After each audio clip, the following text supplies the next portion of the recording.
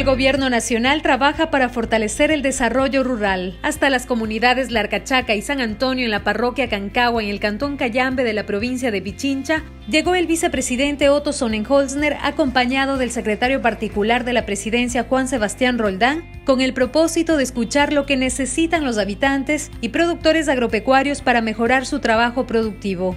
Nosotros estamos actuando pensando en el país, pensando en qué es lo mejor Vamos a tratar de volverlo a plantear a través de estas conversaciones para ver cómo lo sacamos adelante. Se trata de poder realmente combatir la pobreza rural. Entonces yo creo que hay que recoger todas estas ideas para que salga para todo el pueblo del Ecuador y salga en beneficio para todo el pueblo. Eh, necesitamos también hacer el mismo esfuerzo, el mismo trabajo, el mismo pensamiento, salir adelante con ayuda de nuestro gobierno. En estos encuentros, el segundo mandatario aprovechó para aclarar cierta información falsa que se ha propagado y que ha causado preocupación en los habitantes. Dijeron que se le había condonado, que se le había regalado 4 mil millones de dólares a los más ricos, ¿verdad? Que dijeron eso, todos escucharon.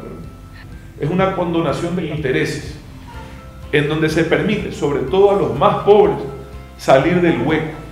El gobierno del Ecuador no le da bono a ningún venezolano, no le da porque la ley lo prohíbe. Están circulando el rumor de que vamos a bajar los sueldos. Señor, eso no se puede. Es prohibido por ley.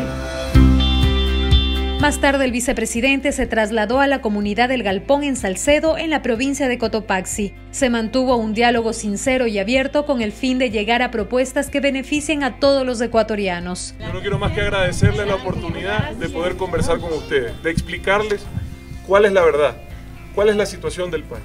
Ustedes son el país. Sin ustedes no hay país. Mi admiración, mi respeto por todo el trabajo que hacen. Trabajamos por ustedes para impulsar la productividad en el campo, porque estamos decididos a crecer juntos. Toda una vida. El gobierno de todos.